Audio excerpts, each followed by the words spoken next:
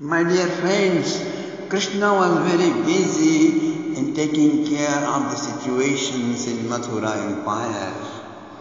Now he found time and he sent a messenger to Vrindavan. And he arrived and he is meeting with Nanda Baba. Yashoda is sitting nearby. And many Gopas and Gopis are also sitting around him. He asks, Does Krishna remember us? Me, his mother Yashoda, his friends, Bhadra, Subal, Sridham and Gopas and Gopis.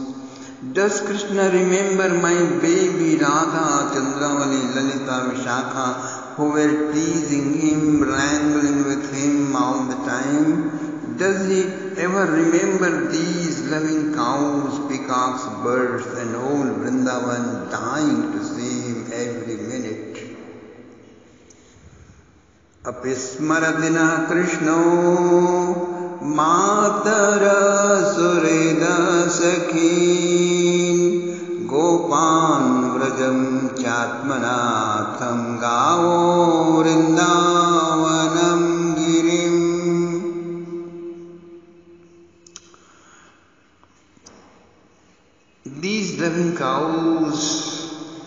does he ever remember these loving cows, peacocks, birds, and whole Vrindavan dying to see him every minute? For the protection of whom he always risked his life, jumping on the river and fighting dragon Kalia, lifting up Giriraj, battling with Aghasur, Bakasur, Dhenukasur, Pralambasur, Vyomasur, Keshi. He endangered himself again and again just to keep us alive. He used to do lots of heart captivating pastimes to see us happy. Does he ever find time to think of us? Will he come to see us? His mother Yashoda, who is waiting for him ever since. Oh, when, when will we see his smiling face again? सरित्शैलवनोद्देशान् सरित्शैलवनोद्देशान् गावो वेणुरवायि मे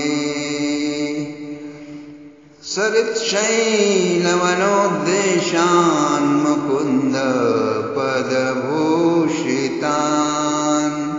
आक्रीडानि क्षमाणानां मनोयाति तदात्मनाम् It's the same Yamuna beaches, the same hills and dells and meadows, walkways where he walked and sported in the lush green forest and ponds. His footprints are still there. We have protected some of them with covering and gopis and gopal, often lit a flame, burned dhoop, and go absorbed in the samadhi of his deep remembrances. Often we hear the echo of his flute music he used to play, often especially when going to the woods and coming back with friends and holy cows. Those echoes have been absorbed by the ether of Vrindavan Khan, and the resounding reaches, the resounding reaches our ears and akridani chamananam manoyati activities get slackened, his sporty sidelong glances and his nectarine laughter and whispers become so real, so entrancing that we are lost in oblivion. Often a deep transcendental tormentation takes over our life. Oh, the flute playing countenance of my son and Mother Yashoda is crying now. Mother Yashoda, flute, She says, flute, flute, flute music, so enchanting, so heartfelt. It used to echo and resound, but now it became a prohibited music in Vrindavan. He went and the flute was silenced forever. Without him, who will play and how?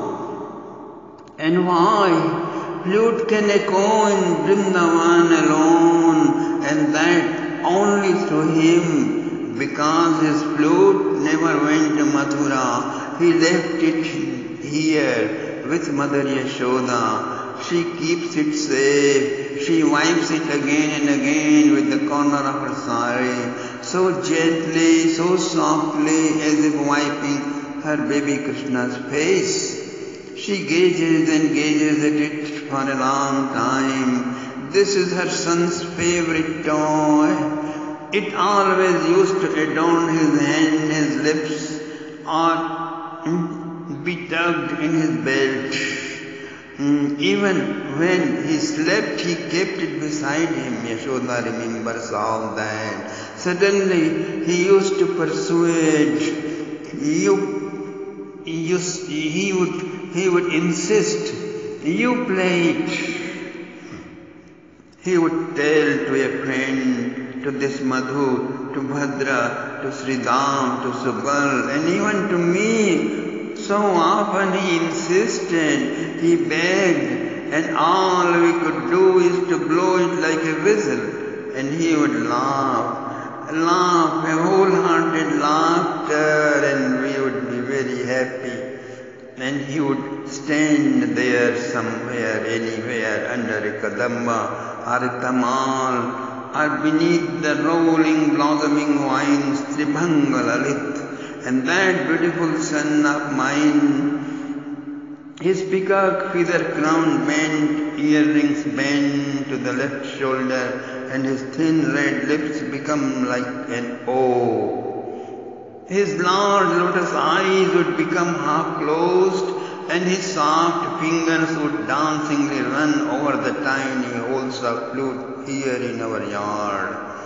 In Mother Yashoda's yard, all the gopis and gopas and cows and even monkeys and birds and peacocks used to come running and flying from all over to and, and, and listen. When Yashoda looks at the flute now and takes it in her hand, she feels her son will just come running from somewhere and ask her, Shall I, my mom, play my flute? Shall I? Oh, how absorbed becomes that lotus-eyed son of mine, always turbulent, so restless, moving everywhere, wrangling with every gopis. But with this flute, he is so silent, so at peace, so entranced, as if doing some great meditation of a Himalayan yogi. He used to be part of him. It used to be part of him. It used to be a symbol of his new dimension of life. It used to be inseparable from him. But now that same flute is lying here lost, crying, devastated, dissolute.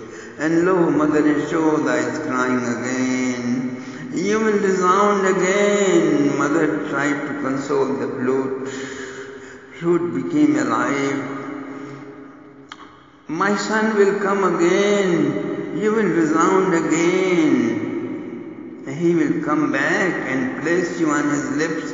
Then your honeysuckle days will return. Don't be despondent, dear flute. Oh, my child will be coming any day, any minute. Please, let us wait. Let us wait. Let us wait. ॐ नमो ब्रह्मण्यदेवाय गोब्राह्मणहिताय च